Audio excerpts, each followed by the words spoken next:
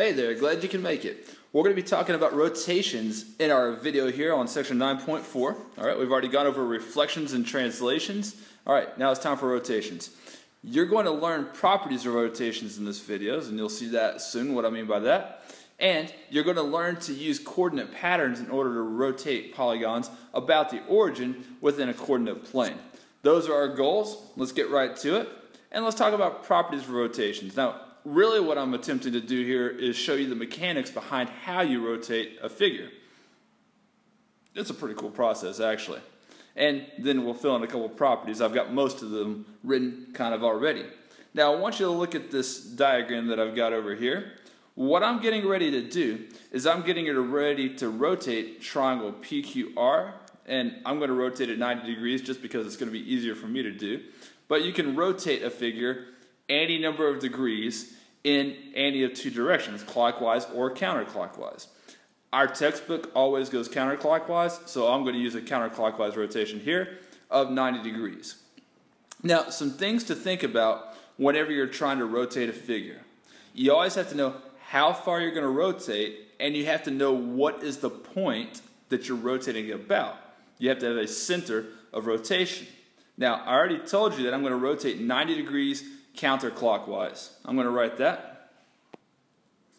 And you can choose a whole lot of points, an infinite number of points to be the center of rotation. I'm going to use this point C as the center of rotation. I happen to be picking a point that's not part of the figure. All right, we'll talk more about when the center of rotation is part of the figure in another example. All right, but that's the center of rotation. Now, you might recall when we were doing translations how we use vectors to aid us in translating a figure. Well, we can use vectors, or we could really just say we're using line segments to aid us in rotating a figure as well. The mechanics of rotation are like this. What you always want to do is imagine, or even physically draw sometimes, a segment that connects the point that you're trying to rotate with the center of rotation. So right now I'm going to connect P with the center of rotation, and I'll rotate that point first. And the way that we're going to rotate this point P 90 degrees counterclockwise is actually by rotating the segment that connects it to the center 90 degrees counterclockwise. All right, so you see how I rotated that 90 degrees counterclockwise. And the other trick is I want the image of point P to be the same distance from the center of rotation as it was. So, well, I created it that way on purpose. This point right here will be our P prime. And then what we're going to do is go through a similar process with each of the other vertices for the figure that we're trying to rotate. We can connect Q with the center of rotation and rotate that segment 90 degrees. Then we can do that with R as well. I'm going to actually. All right, there I connected Q to the center and now I'm going to rotate it. All right, so there you see Q prime and you see the 90 degree angle between the segments that connect it and point Q to the center and they are the same distance. You can verify if you like. And then let's do the same thing for point R. And there you go, connected it to the center, rotated that 90 degrees, voila, there's the image of point R. And again, the 90 degree angle that you see right there. And so now that I have the image of each of the three points, I can go ahead and connect them and make the image of my original triangle after a 90 degree rotation. There you go.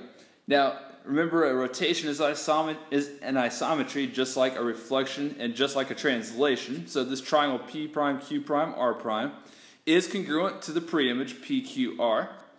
Okay, this is just rotated 90 degrees around this certain point. Now, the properties of the rotations that I wanted to write in here. Every point in its image are always equidistant from the center of rotation. So in this case, that means that the distance from R to C is equal to the distance from R prime to C.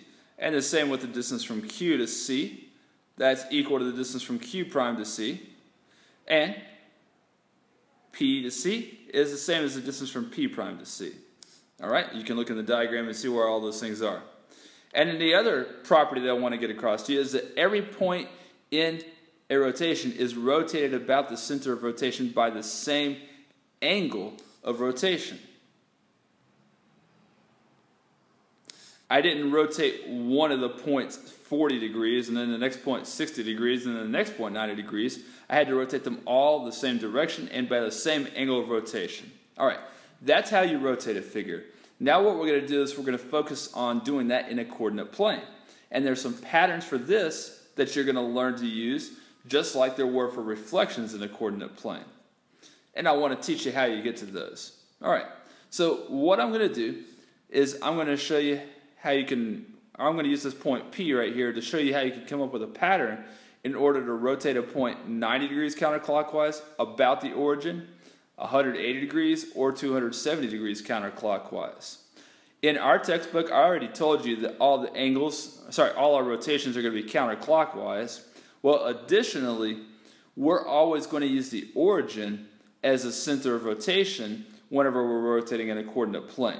All right, now it is certainly possible to rotate a, a figure around any point in a coordinate plane, but we're just focusing on the origin as the center of rotation. And these patterns that I'm going to show you only directly apply whenever your center of rotation is the origin. Okay, so let's go ahead and take this point P that I've made, and let's use the same process that we did in the previous example to rotate it 90 degrees counterclockwise. And remember that process involved us connecting it with the center of rotation, so let's connect it to the origin, and then we're going to rotate that 90 degrees. Okay, now the purpose of the circle here is so that I can keep the image of point P the correct distance from the center of rotation at all times, because every point on that circle is equidistant from the center of rotation, correct?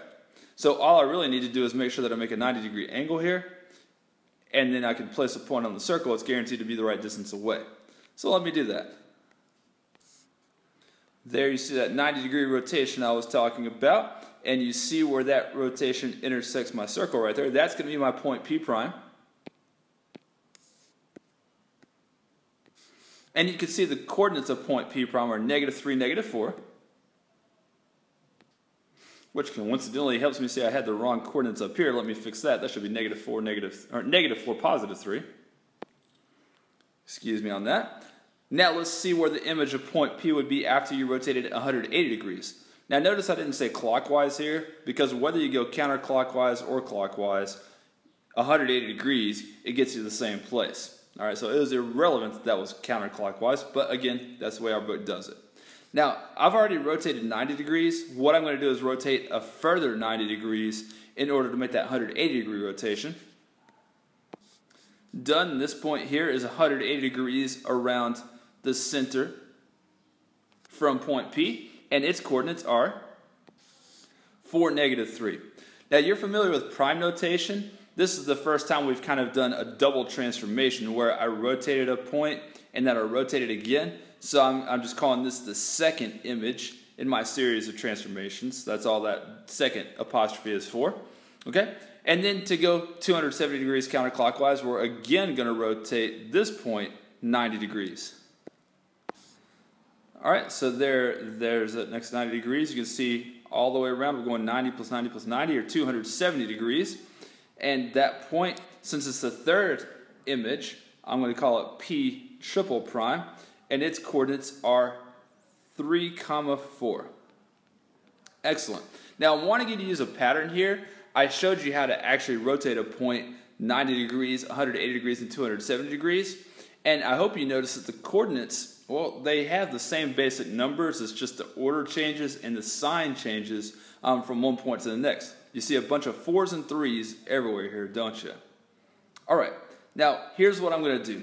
Let's just give this point P generic coordinates, x comma y. And then let's see what do you do with the x and y coordinate of that point in order to rotate it 90 degrees. Well, you see here we have a 4 first. I know it's negative, but we'll hold on to that thought. We have a 4 first and a 3. Do you see how the order of the 3 and the 4 changed? Okay, now I'm going to make note of this over here. One of the things that happens when you rotate 90 degrees counterclockwise is you switch the order of the two coordinates that you started with. But that's not it, all right? Now, this negative 4, when I switched it from the x spot to the y spot, remained a negative 4, didn't it? So the x coordinate in that 90 degree rotation, when you switch it, has exactly the same value as what it started with.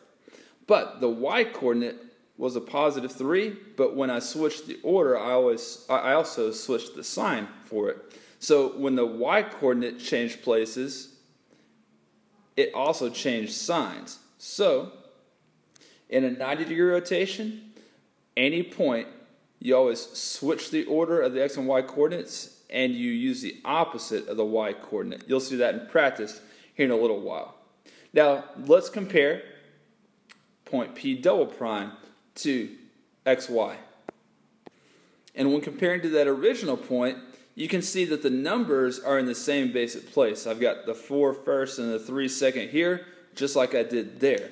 So the x coordinate is still in the x position, and the y coordinate is still in the y position. Now, how do the signs of those numbers compare to the originals? Well, I started off with a negative 4, and after that 180 degree rotation, I had a positive 4. So we got the opposite of the x coordinate that we started with. And for the y coordinate, I started off with a positive 3. After a 180 degree rotation, I had a negative 3, so I also got the opposite of the y coordinate.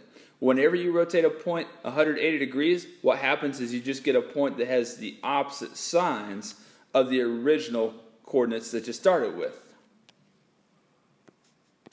So that point xy gets mapped to opposite of x, opposite of y. And then let's do the same thing right now with the 270 degree counterclockwise rotation.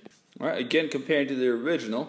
Now you see the 3 and the 4 switched orders. I had it first here, second there, but now I've got the 3 first and the 4 second. So we switched the order of the x and y values. Now let's say about the signs. Well, when that negative 4 switched over, it became a positive 4, didn't it? So you get the opposite of the original x value that you had. However, when that 3, that y coordinate switched places, it remained a positive 3. So you get the original y coordinate that you had, it's just listed first there. 270 degrees counterclockwise rotation, every point xy gets mapped to y opposite of x.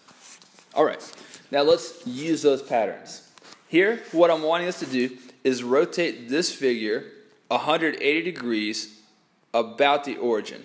And we're going to give the coordinates of the vertices of the image after doing so.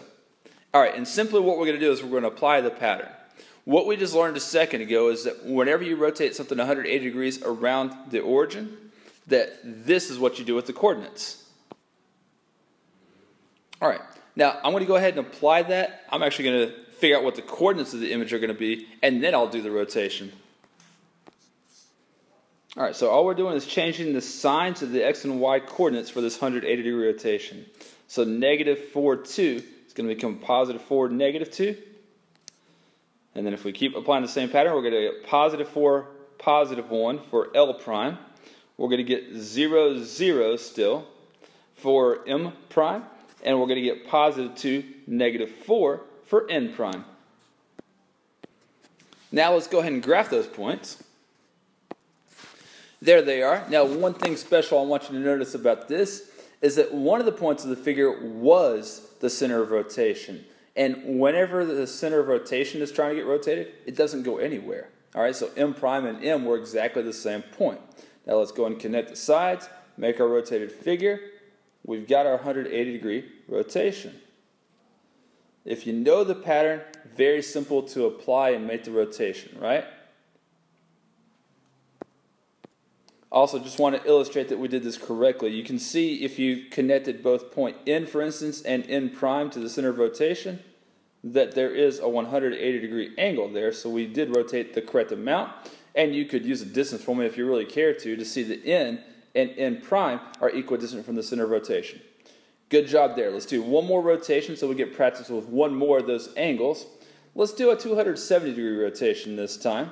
The directions are the same here. We're going to give the coordinates of the vertices for this rotation about the origin? Well, here's the pattern we learned for 270 degree angle of rotation. So let's take each of these points and let's apply this pattern to their coordinates. Now, what this is telling me to do is to switch the order of the x and y values and make sure you use the opposite value for the x coordinate that you started with. All right, so we're going to switch the order of the 0 and the 3, but we're going to use the opposite of 0. Of course, the opposite of 0 is 0, so you won't notice that opposite being done there. All right, that's where r prime is going to be a 3, 0. Again, for point S, we're going to switch the order of the x and y coordinates, but we're going to use the opposite of the x coordinate that we started with. So we're going to get negative 2, positive 1.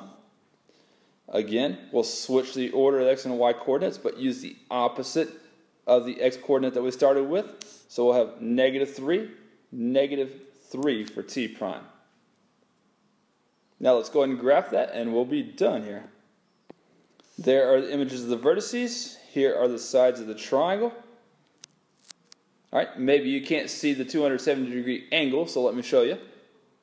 Let's say we connect T and its image to the center. Here's the 270 degree angle going around this way. That didn't really work very well. Let's try that a little more slowly. There's the 270 degree counterclockwise angle, which by the way means we could have gotten 90 degrees clockwise. All right, that's how you rotate figures and the patterns that you'll need to know in order to rotate figures in a coordinate plane. Not easy to memorize by any means, but pretty easy to apply once you realize how the patterns are applied, and I hope that you do now. Thanks for your attention. See you later.